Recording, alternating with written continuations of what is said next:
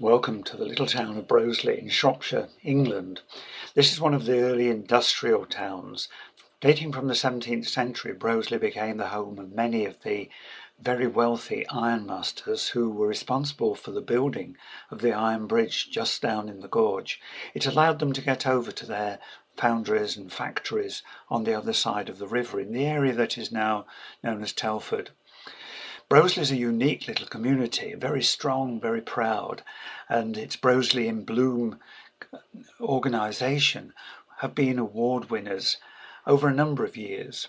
For the last two years during the COVID pandemic, things have been much quieter, but still the essential bones of Broseley are there.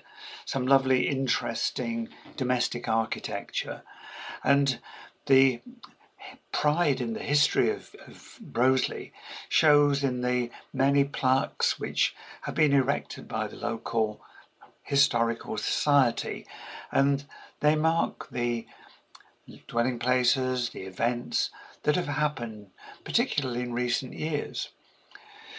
Another of the features of um, very historic feature of Broseley are the very high walls which line the main street through the town and that tradition goes that at one time there was so much drunkenness that the house owners built these high walls to stop the drunken men, probably women, on their way home, throwing bricks through windows.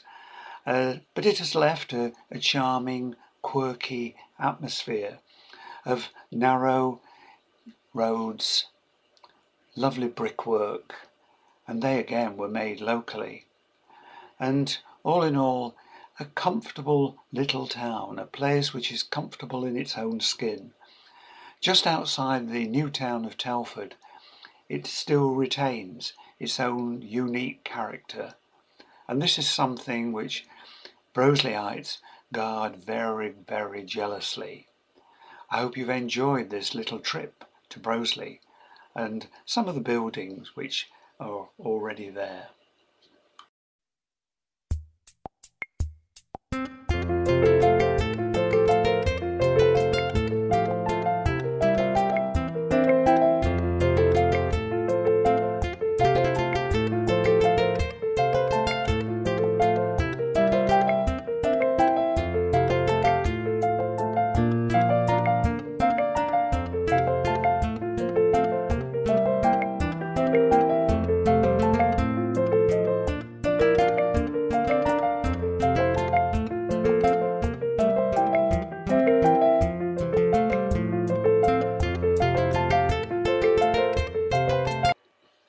Hope you've enjoyed this little trip to Broseley.